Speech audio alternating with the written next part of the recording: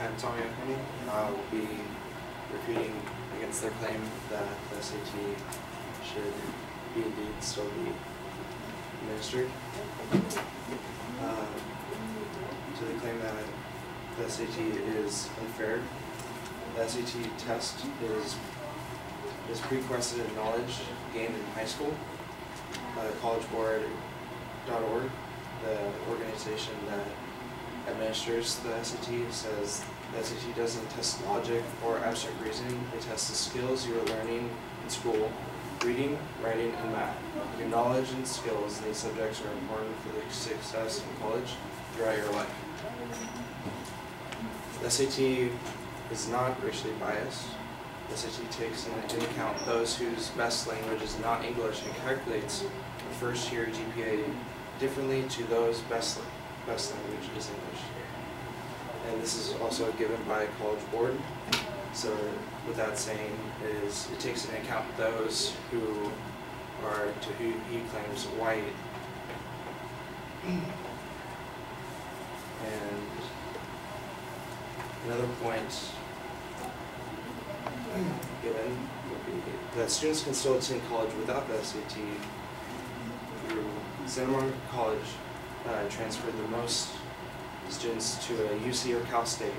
85% of junior transfers of all students in uh, community colleges were accepted into UCs from Cal States, were accepted into UCs from Cal, um, California community colleges.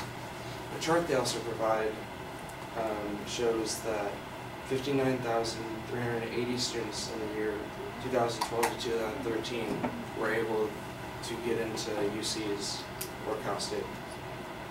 And this is given by uh, smc.edu student transfers. I also like to address the point that he gives no evidence in the culturally bias that reality TV that has no correlation to SAT questions or knowledge that MTV is not a way to study for the SAT. Uh, another point I would like to make would be, what if the, what would happen if there was no SAT? If any student could attend to a four-year college, for example, Harvard, UCLA, Cal Poly Pomona, that social discrimination would occur.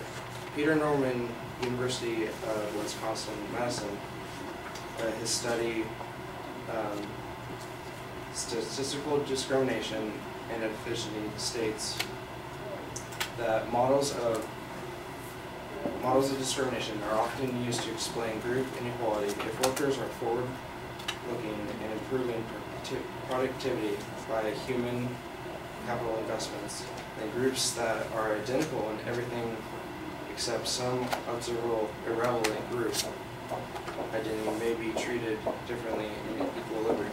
In the simplest models of discrimination, this is explained as a self-confirming prophecy. Minority workers are unsuccessful because firms believe that they will likely have low skill sets, and minority workers invest less in human capital since they believe that they will be at a disadvantage in the labor market. This means already admitted students with previous credentials to attend that certain college would treat the new students differently because they are considered to have a lower skill set in which segregation would follow due to the difference factor affecting that equilibrium. An alternative to also getting into college is the ACT. The ACT is an exam used by college admissions, just like the SAT, it is an achievement test measuring what a student has learned in school.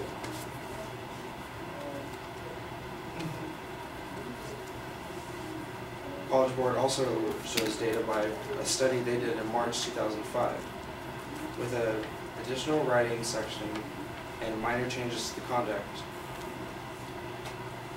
In fall 2006, colleges and universities across the U.S. provide first-year sample data.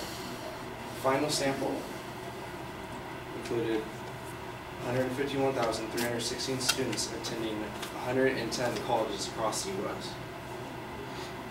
on average, the sample for this study performed better on the SAT, around 60 points higher per section, and had a higher mean high school GPA, around 0.3 higher than the 2000 College Board seniors cohorts.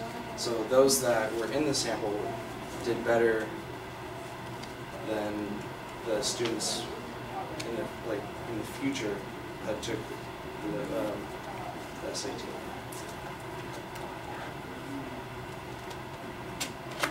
Thank you for your time, and I hope you see why the SAT should still be administered.